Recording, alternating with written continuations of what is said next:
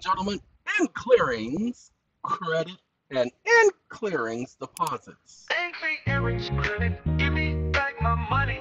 My money A lot of people ain't never heard of no Angry Eric's. ain't never banks are clearing house corporations. clearinghouse If a member of the Federal Reserve, even the is how courts. they get paid. Angry Hmm. Eric's credit, give me Give me back my money. But did you know you can get your money? Did you know you y'all can file complaint? Did you know there are two agencies, There are two the. FDIC And the and CFPB. Inkly earrings credit, give me back my money. When the bank takes your promissory note, it's called a purchase. You promise. The banks purchase your promissory notes. Hey, ladies and gentlemen, we got to talk about the in clearance credits. Okay, we definitely have to talk about the in clearance credits. What do we got to talk about? I want you to pay attention because it's very important. We got a conversation we need to have with the GPT. We're going to get rid of this conversation that we just had. What's it about the land grants and the land patents and the registering of vehicles and property and all of that? Where in the world did you all ever get the idea that you had to register your private property? Ain't that a shame? How are they gonna get control over your private property? Ain't that a shame? Ain't that a shame? Ain't that a shame? Mm, mm, mm, mm, mm. We go to this chat GPT. Because we got some questions to answer. Wake up.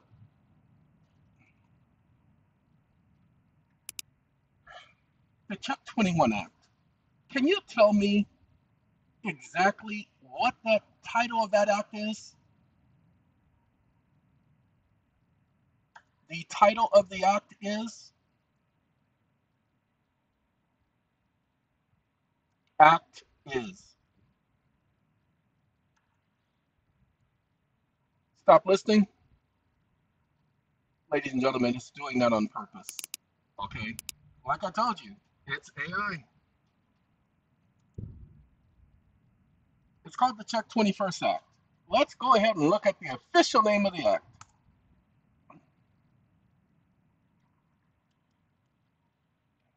Now, oh, by the way, we're going to learn some new things here, stuff that nobody ain't never talked about. I want y'all to pay attention, especially this act right here. You don't see nobody doing no videos on the Check 21st Act. Now, watch when he gives you the official title for the Check 21st Act Check Clearing for the 21st Century Act. Ladies and gentlemen, that's how they're processing your promissory notes. It's not just about checks, people. It's about clearings houses. Okay, watch this. Wake up. Wake up. I'm told that Wells Fargo is a clearinghouse bank. Can you explain what that really means? I am told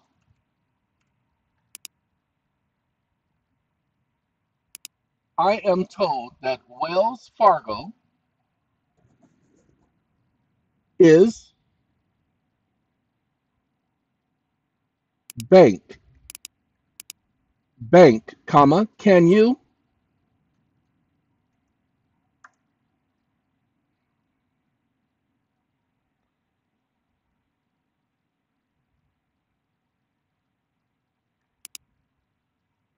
A clearinghouse bank refers to a bank that participates in clearing and settling transactions between banks. In financial systems, a clearinghouse facilitates the process by which banks and other financial institutions settle interbank debts and transactions, ensuring that funds are correctly transferred between parties.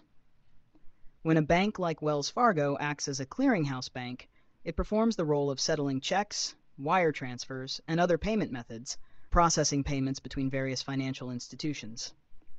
This often involves ensuring the smooth movement of funds, managing risk, and guaranteeing that financial how does this relate to the check 21st act?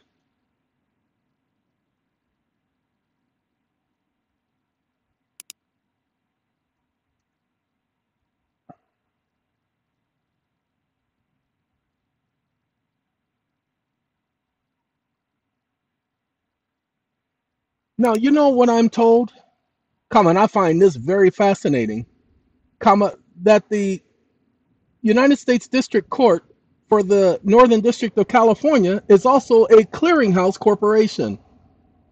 Comma, imagine that. Question mark.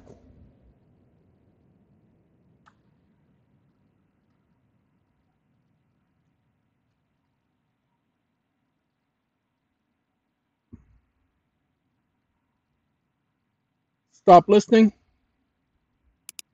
Let's see what's going on with the court being a fascinating if the United States District Court the Northern if. District of California were functioning as a clearinghouse We're going to have to have them do it again because we don't this this is not a if. commonly understood or typical role for a court. Wake up. I think it's through the clerk registry.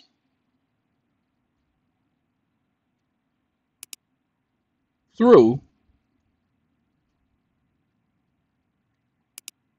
or the registry clerk or the CRIS system.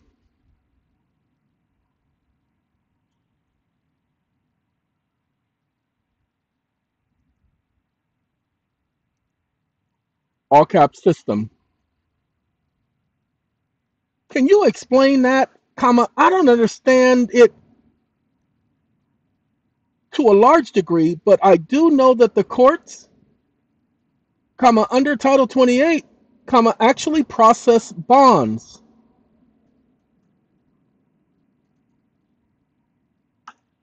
Stop listening. We just showed you guys the video the other day where the courts process bonds. Bid bond, payment bond, performance bonds. Isn't that amazing? So let's find out about its clearinghouse capabilities.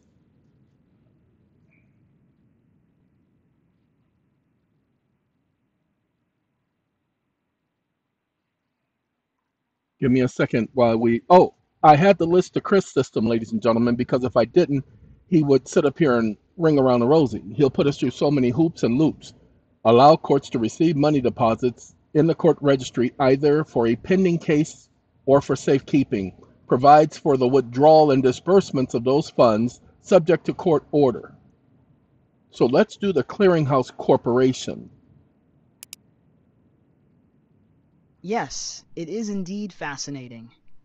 And you're correct in noting that the United States District Court for the Northern District of California, or any U.S. District Court, can act as a financial intermediary through systems like CRIS, Court Registry Investment System. This role ties into the broader concept of courts handling and processing financial instruments, including bonds, through their clerks of the court. Isn't that Here's how this works, particularly in the context of CRIS and Title 28. CRIS, Court Registry Investment System. One functionality. CRIS is a system used by U.S. courts to manage and invest registry funds. These funds are typically deposited with the court during litigation or proceedings, such as bonds, settlements, or other financial securities. The funds held in CRIS are placed in an interest bearing account or other secure investments to preserve value until the court releases them. 2. Clearinghouse like role. The court, through the clerk's office and the registry system, manages the inflow and outflow of funds, similar to the way clearinghouses settle financial transactions They between sure do. parties. The court is holding these funds in trust, Are often they holding for them in matters to conclude before distributing them Oh, according to the snap. court's orders. They holding them in a trust. This trust. resembles how clearinghouses facilitate the settling of financial Is that is that what it does? 3. Title 28 and Mhm. bond processing. Under Title 28 of the U.S. Code, specifically Section 2041 and 2042, courts are authorized to hold and invest funds that have been deposited with the court. Really? These funds may The courts get to court bonds, engage in investment. or other financial instruments. Hold on now. For example, in certain cases, Hold on, ladies and gentlemen. The courts get to invest. Hold on, CRIS. Registry investment system. Uh, well, the court registry investment system is CRIS. The courts get to invest. No, they don't. The courts cannot engage in commerce while conducting its official business. we say it again. The courts cannot engage in commerce because they are prohibited from doing so. You don't believe me? Go and check the law.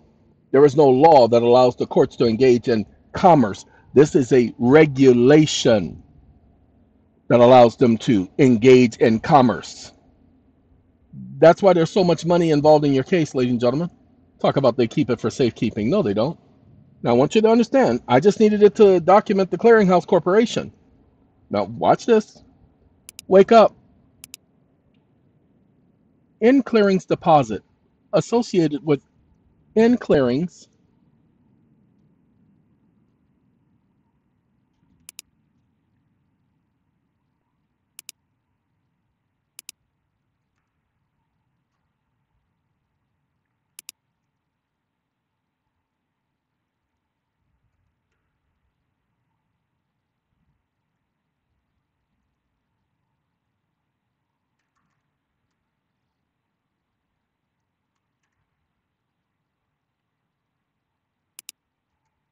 credits,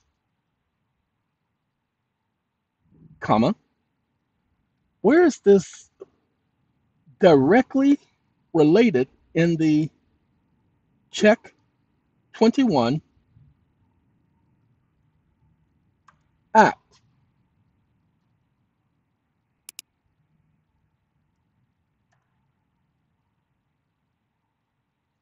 Stop listening. Ladies and gentlemen, what I'm doing here is suggesting that you guys need to. I, I've never looked at it, never checked it, but I would definitely go and look at the in clearings payment section of this because what I'm about to do next, you're going to find very interesting. Okay? Relationship with the Check 21st Act, electronic check processing, electronic imaging, and substitute checks. Electronic in clearings before Check 21, banks physically had to send checks for settlement, which caused the delay. Now they don't, they just send it electronically. Credit creation. Once the electronic image of the check is sent and received by the paying bank, pay attention, the clearing process is complete or is completed much faster. The bank that receives the check for deposit, the depository bank, is credited more quickly than with the old paper system. How it works. Now watch this. Wake up. That's interesting. Comma, did you know that I gave the bank my promissory note and the bank purchased my promissory note and then processed my promissory note through this clearing process? Comma, but they did it for 900% more than the $35,000 that I was originally applying for. Comma, for a total of $360,000. Comma, how is that possible? Stop listening. Ladies and gentlemen, it's not possible for the banks to do that because in order for the banks to take my money and then increase it by 900%, that means that the bank has to pay me. Now, he's talking about securitization. Um, yes, it is possible in certain circumstances for a promissory note can be handled in this way that might not be immediately clear to the borrower. Here's an explanation. Watch this. Wake up. No, comma. As I told you, the bank purchased my promissory note, comma, you idiot. Your explanation did not consider the bank purchasing my promissory note, comma, creating an account in my name, comma, and depositing the in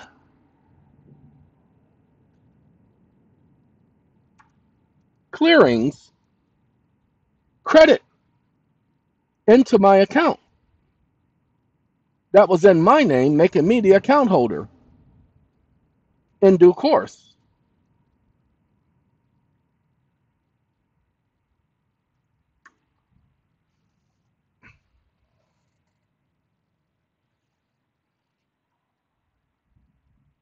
Stop listening. Uh, he says he understands that I'm referring to the bank purchasing my promissory note and creating an account in my name and depositing the funds into the account as credit. Let me address your situation more directly. Banks purchasing a promissory note. When you say the bank purchased your promissory note, this likely means that the bank treated your promissory note as a negotiable instrument with value.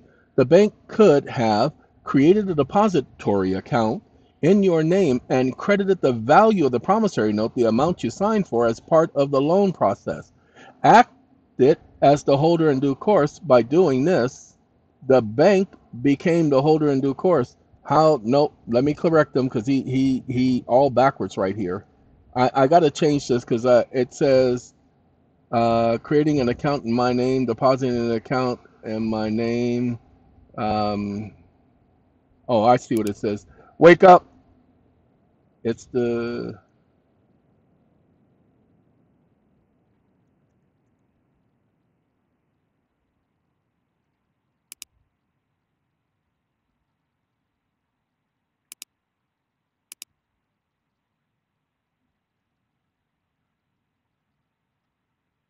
making me the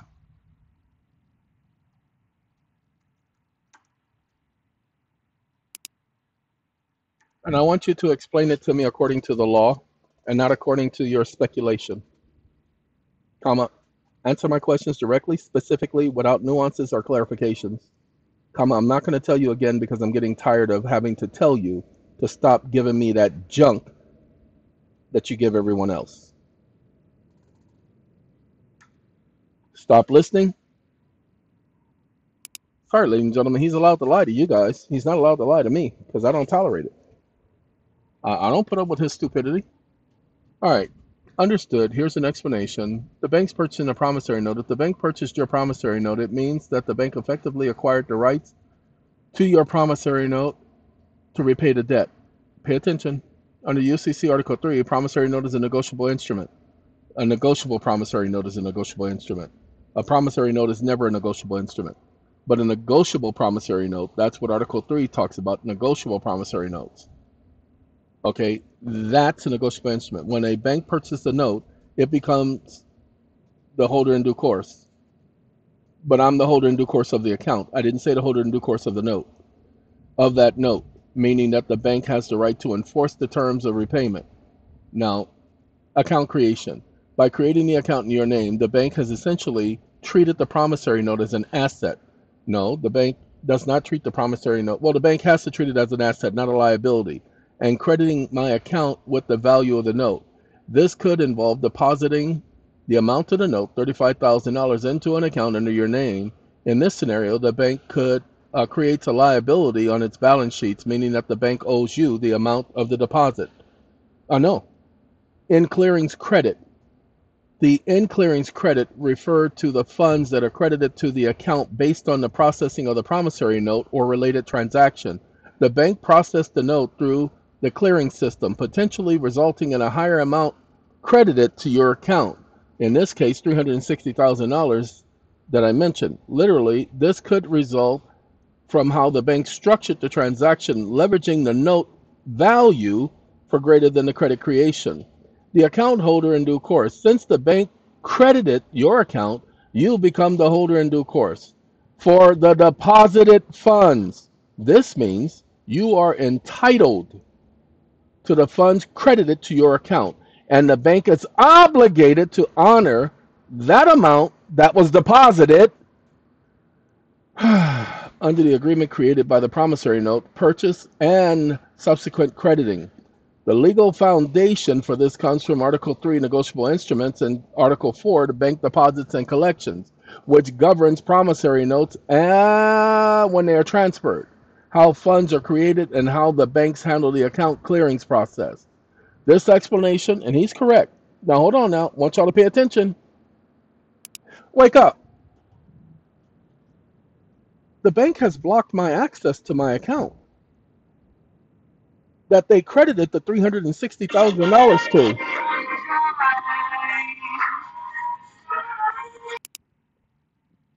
$360,000 to the account in my name. Period. I'm the holder in due course of the account, and they're blocking my access. Period. Now, I know that I can file a complaint with the FDIC for this type of malfeasance because the bank is operating as a trustee or custodian over my account and not as the owner of the account, comma, that I actually own the account.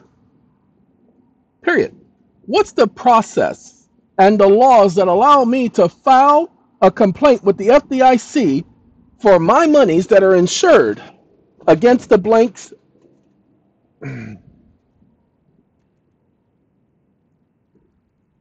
malfeasance? Stop listening.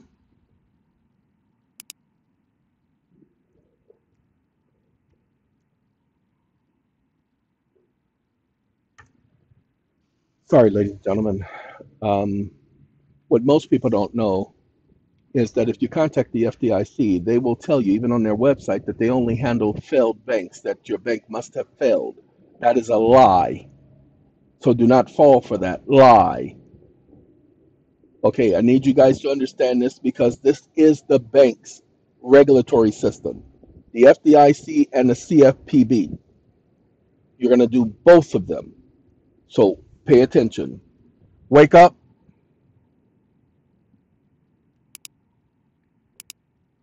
The bank not allowing me access, comma, I now need to file a complaint with the CFPB, comma, what are the laws governing my being able to file a complaint with the CFPB?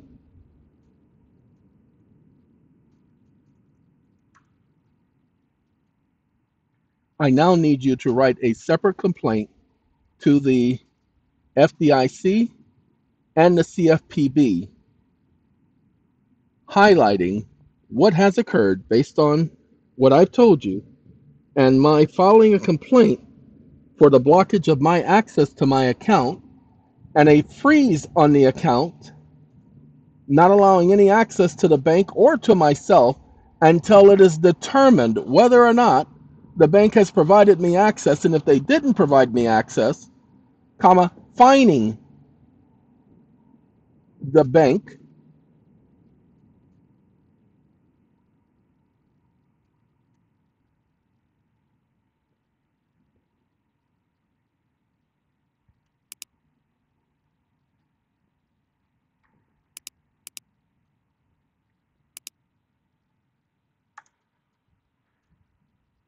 fifteen percent of the amount plus the interest that has accumulated as a result of the bank holding on to these funds for which they have profited as a result of the accumulated interest.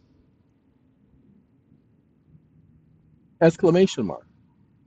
And that by holding on to my property without due process, which is a non-core issue, comma, they violated my constitutionally secured right to property and must be held accountable.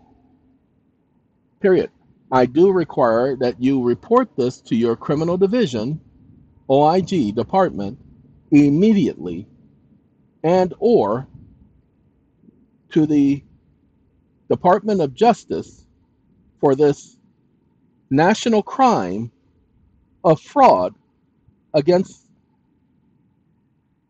the United States and its people.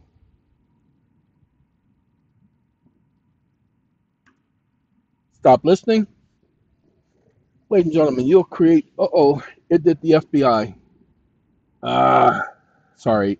I don't want it against the FBI. I didn't ask it for the FBI. It did the FDIC. But at one point, it did the FBI. FDI fee. yeah, you gotta be. I don't. I don't watch it all the time, ladies and gentlemen.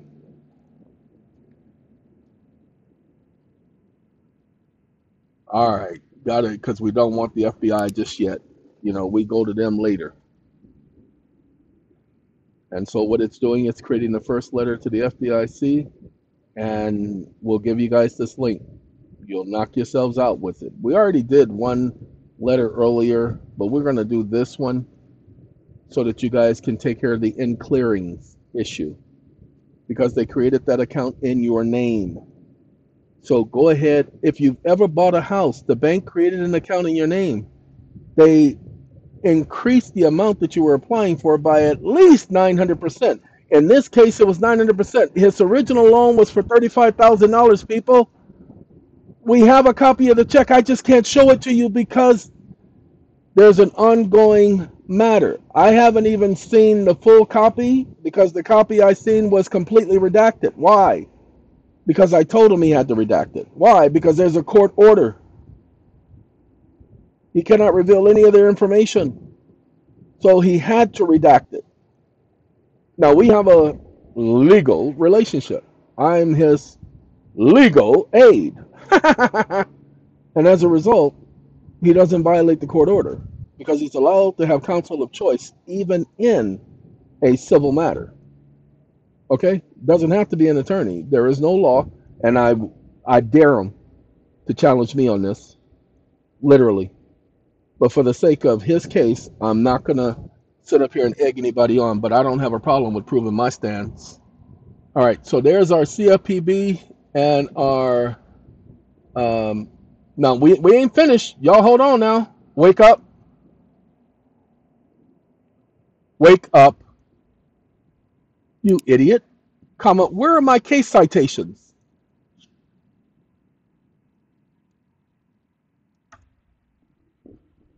Stop listening. He's going to redo the letter for you guys because he just gave you guys a letter that didn't really say anything. Now, wait, hold on. He gave me case citations. Now, watch this. Wake up. Wake up. Where are the supportive regulations?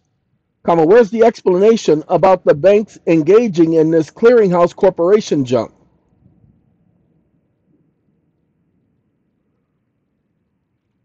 Junk.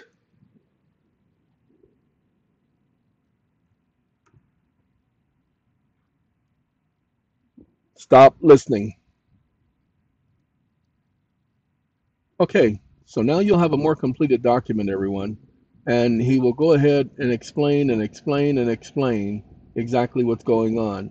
The Fifth Amendment argument doesn't really operate as a Fifth Amendment argument because it's not the government taking your property, it is the bank taking your property.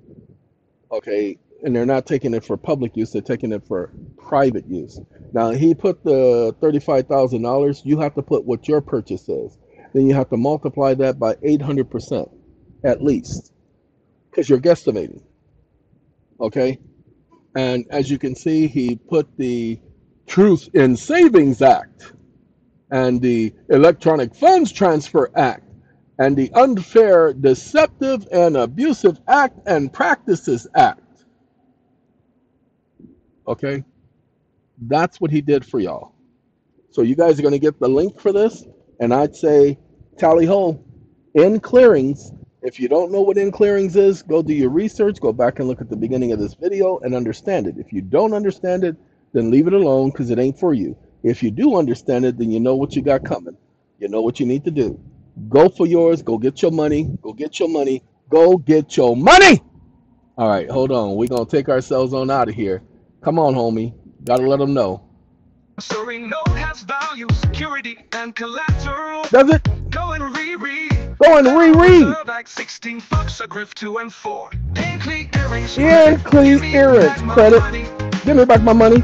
Most people think that the FDIC is only for failed banks, but if that was the case, why does it say that it's an insurance company? It's an insurance If it was company. only for failed banks, then it would say so. Hey, The it would. you don't know, and you don't, that there's a process for you to file.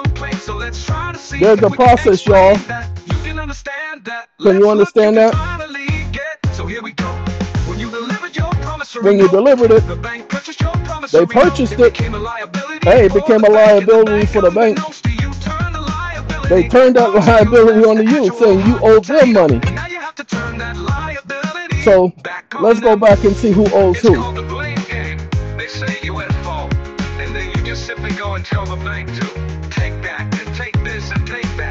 forget about this. You know what I mean? The bank's opened up an account in your They do name. You are the account holder. You're the holder in due The course. in due course. You have a right to the You do have a right to those funds. credit. Give me back my Give money. me back my money. But they block your access. So now you must file a formal complaint. You must with the file a formal complaint with the FDIC, with the It CFPB, and that's how you tap that.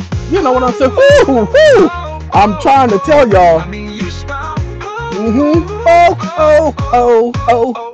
They open up an account in your In your name, name, and they y'all. They throw that hot potato, you- and you end up you're the one who needs to pay is what they say. You can't see the distraction In clearance In credit, clearance back credit, y'all. Give me back my money. what the number is, but they do. Don't worry about what the account number is. Worry about putting together putting a together that complaint. and explain what is, is clearance credit. is Give me what is. my money. Go Give me my money. Go get your money. Go get your money, y'all. Go get your money. All right, ladies and gentlemen. This is the in clearance credit. All right. Have a good day.